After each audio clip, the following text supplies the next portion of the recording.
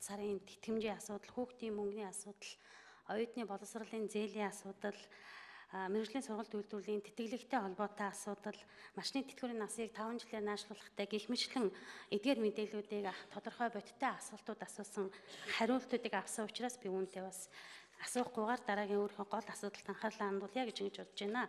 Төсвийн тодтолын материалтай танилцлаа. Тэгээд энэ дундаа хүний хөгжлийн сангийн төсвийн тодтолын тухай энэ одоо материал дээр хамгийн гол зүйл болохоор энэ гадаад зах зээл дээрх уул уурхайн гол нэр төрлийн бүтээгдэхүүний үн буурсан төгрөгийн ам долларын доллартай харьцах ханш 2016 оны төсвийн одоо жилд үргэлжилж суларч байгаа ийм нөхцөл байдлуудтай холбоотой тэр Эрдэнэс 5-7 хувьцаат компани төлөх урьдчилан төлбөрийн үрийн үлдэгдлийг 2016 оны одоогийн байдлаар 60.2 тэрбумын төгрөгөөр бууруулах энэ сандыг бол дэмжиж байгаа. А ер нь бол Өмнөгөө аймгийн хэмжээнд энэ Өмнөгөө аймаг дээр Эрдэнэс 5-7 маань уул уурхай үйл ажиллагааг явуулж байгаа бүгдээрээ мэдж байгаа. Одоогийн байдлаар энд өдөрт 300-аас 600 тэрэг техник түүхээ нүүрсийг түүхийгээр экспортод гаргаж байгаа.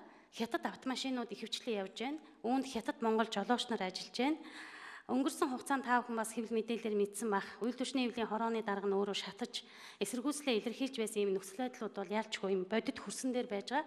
Орон нутгийн одоо байгууллагатайгаа хамтарч ажиллах, орон нутгийн боловсон хүчнүүдийг ажлын байраар хангах, орон нутгийн одоо энэ бизнес эрхлэгчдийг дэмжих ийм бодлогод бол энэ байгууллагт байдаггүй. Энэ дээр би бас цааш анхаарах зүг болов уу гэж ингэж бодож байна. Нөгөө талаараа Эрдэнэс 5-7 бас одоо гол захирал бас ярьж ирсэн. 2015 оны жилийн эцсийн байдлаар 120 сая ам долларын одоо өртөө. А гэтэл одоо эхний 6 сарын байдлаар тэнд ямар ч үйл ажиллагаа зогсоогүй бүтэн 24 цагийн хугацаанд нүүрсний тээвэр урагшаа гарч байгаа. Энэ тохиолдолд бараг л 10 орчим одоо сая долларын л өр буурсан. Нэгсэндээ одоогийн үлдэгдэл 410 орчим сая төгрөс. Ийм мэдээллийг би авч ирсэн л да. Тэгэхээр энэ төсвийн тодтголтой холбоотой одоо өнөөгийн нөхцөл байдал ямар бодлого баримталж байгаа болоо тухайлбал одоо бол зах зээлийн үнийг би өсөж байгаа гэж харж байгаа энэ 5-7 нүрсийн үнийг өсгөх боломж байгаа гэж харж байгаа. Өөр төлөх ёстой юу, төлөх ёстой үнэн энэ бол бас зайлшгүй шаардлагатай.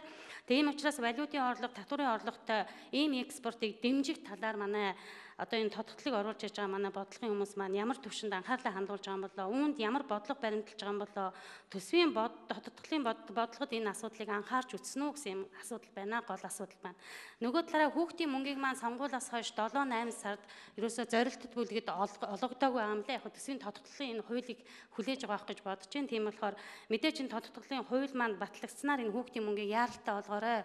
Сургуулийн хичээлийн хэрэглэгдэхүүн гээд айл гэр өрхөд хэрэгцээтэй бодит одоо юм боломж нөхцөл яалчгүй энэ зорилтод бүлэгт байж байгаа бидний сонгогчид энэ талаар нэлээд асуудлуудыг тавьж байгаа учраас энийг бас яалтаа олгох энэ саналыг бас дэвшүүлж байна. За тэгээд баярлалаа. За цоож сарын сайд хариулъя. За амар зай гишүүний сонлыг хүлээж авлаа. Тодтгол бодлогцсны дараа хөөхтийн мөнгийг яаралтай олгож эхэлнэ. Одоо бол хөөхтийн мөнгийг олгох хэмжээний тийм санхүүгийн хөсвөр сангийн яам дээр алга байна. Сонлог хүлээж авлаа.